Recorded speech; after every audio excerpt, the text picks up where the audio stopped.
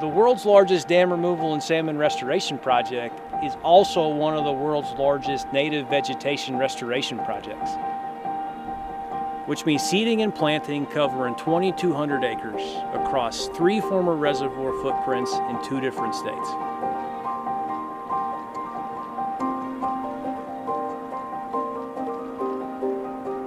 We started planning this effort over five years ago. And since that time, we've been partnered up with the Yurok tribe, first on planning the effort, then through a seed collection process. The seed collection program included 99 species collected over the Klamath watershed. Those seeds were then sent to farms who grew those seeds into plants, who harvested those seeds and planted more plants as part of a large seed propagation process, and that occurred at multiple farms up and down the West Coast. Three million seeds that were collected during that seed collection process were then taken to these farms where they were grown into nearly 20 billion seeds. Some of these seed propagation fields were just massive. Those seeds were then brought together and mixed into tailor-made seed mixes for different areas within the different reservoirs.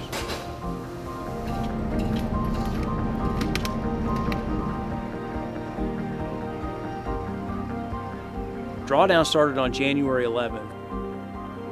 Then the Yurok seeding crew was out to work two days later.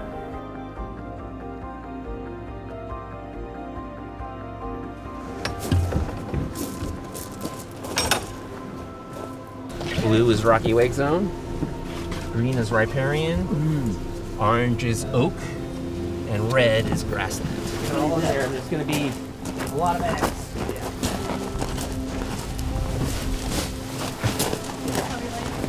And here's your one bag for riparian. All right, guys, this is it, right? Finally get to see our work come to fruition. We were out here in 2019, so some of the seeds that we collected that day were propagated into what we're actually reintroducing starting today. Uh, I think that's pretty cool. You know, as a Native American, this is so vital for our people and our culture and the and just you know our whole environment. But you know, I just wish some of my my aunties and my my grams could have lived to see this day. But I'm celebrating for them. we start healing the land, then the people start healing too in return, you know. Seeding was just the start. The next phase of the spring planting effort included physically planting live trees, shrubs, and herbaceous plugs into different parts of the reservoir footprint to jumpstart the growth of those species. We're planting about 80,000 plants and we're putting them in tight clusters kind of scattered throughout the landscape and then in the future we'll do more and more until we've planted at least 250 to 300,000. I've constantly been dreaming about what it's going to look like, you know. I seen something not too long ago. It's like it's not about how much money you made, but how much land did you restore. And some guy was holding a picture of a like a bare land just like this, and then there's a whole forest behind him. You know, it's the same area that he had planted. That's like well, that's my goal.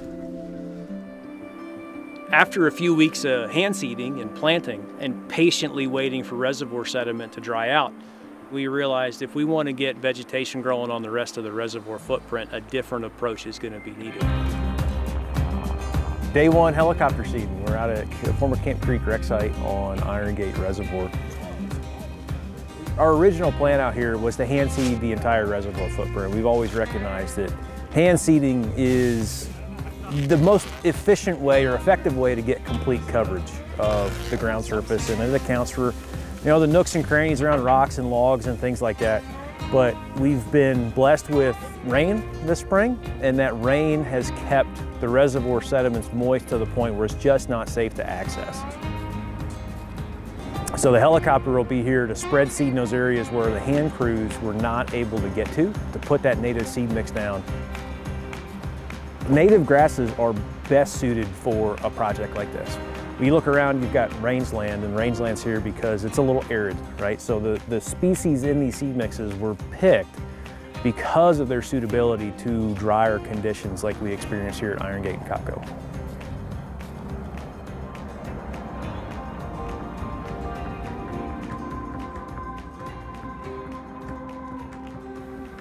As anyone who's ever tried to plant a home garden knows, it'd be a painstakingly slow process to wait for seeds to start germinating, and it was no different here.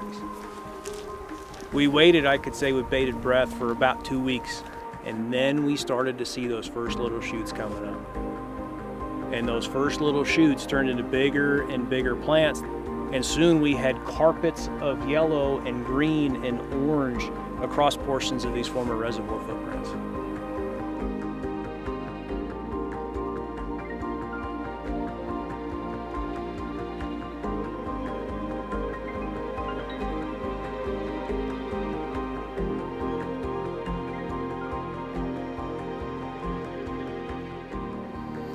Been kind of seeing that prevalence of pollinator increase with the plantings. And so we got butterflies, bumblebees, seeing honeybees. In an area that's fairly devoid of pollinator habitat, we did focus a lot of our revegetation effort on reestablishing pollinator species to bring back that, that keystone insect community that will overall even help plant recovery in and of itself.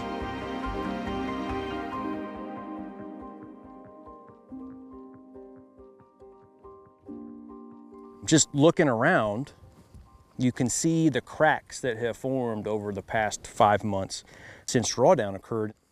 As the reservoir drained and gravity pulled that water out of the soil, the clay particles within the soil, those clay particles being derived mostly from dead algae, consolidated into these clods, which are called PEDs.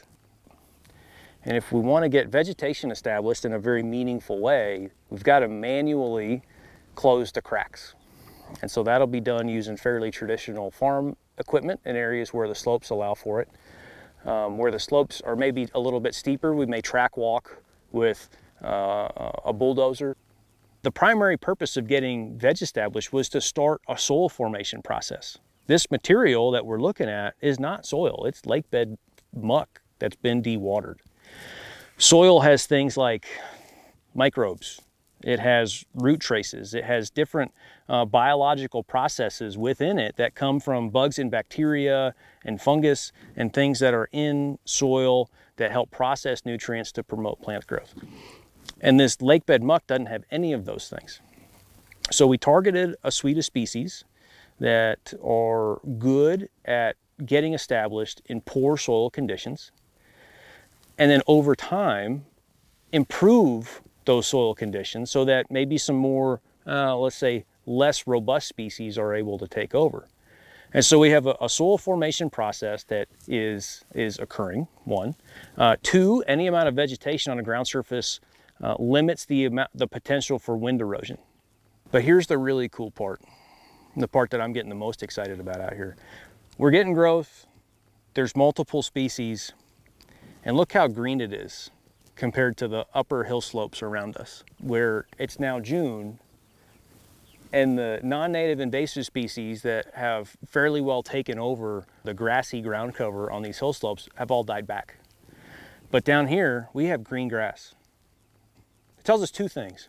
One, it reaffirms that native species are better adapted to this hotter, drier climate and will persist better. And two, this clay material is really good at holding moisture. And so with some reworking of this material to close these cracks, break up some of these hard surfaces, I'm starting to get very excited about what restoration looks like next year and the year following and five years out as this vegetation continues to grow, drops seed, and we get this, this perpetual renewing of a veg cover on this former lake bed. We're in revegetation so far for about, oh, 30,000 pounds of seed, 250,000 bare root stems and herbaceous plugs, and we are just scratching the surface. Much, much more to come, more species, more coverage, more seedbed prep, more plants. The whole point of our first round of, of revegetation of seeding and planting was to lay the foundation upon which a healthy ecosystem will be rebuilt. We're six months in, and the results have been absolutely awe-inspiring. And knowing that over the next five to 10 years, as we continue to take care of this landscape, there's a lot that it's gonna do on its own.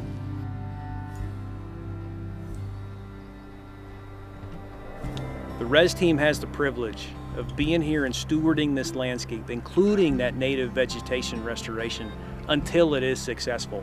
Whether it takes two or five or seven or 10 years, we will be here until it succeeds.